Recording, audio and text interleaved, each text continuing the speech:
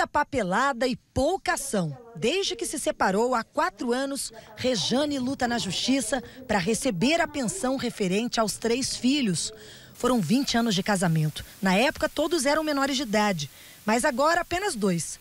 Ela mostra a dívida só do ano passado: R$ 2.532. Mas até hoje, ele teria pagado apenas algumas parcelas de 2016. Ele falou que ia ajudar. Aí pegou, dentro de dois meses ele foi dando, só a pensão. Um mês ele dava, outro mês ele não dava, dava pouco, não colocava tudo. Aí depois parou, não deu mais até hoje. A dona de casa trabalhava antes com reciclagem, ganhava 500 reais. Agora está desempregada. Sobrevive com a ajuda do novo companheiro. Ela procurou a Defensoria Pública e, na ação, foi determinado que o pai pagasse o valor equivalente a 20% de um salário mínimo. Eu queria saber o que está acontecendo. Porque se fosse eu, meus filhos estivessem morando com ele, eu duvido, eu tinha certeza absoluta que eu já estaria presa se eu não estivesse pagando pensão.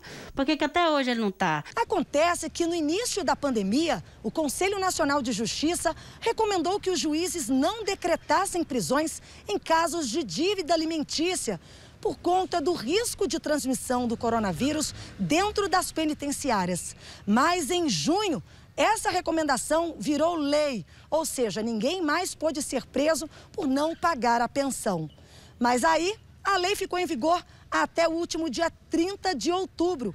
Agora, muitos casos terão que ser revistos, porque voltou a ser permitido prender quem não paga a pensão. O judiciário é lento. O judiciário, às vezes, não consegue é, entregar né, o direito da gente no tempo que a gente precisa. Isso é, isso é excesso de processo, uma série de questões. Então, mais dia menos dia, ele vai ser preso por essas prestações alimentícias só vai sair né, de 30 a 60 dias de 30 a 90 dias, desculpa, é, se ele pagar.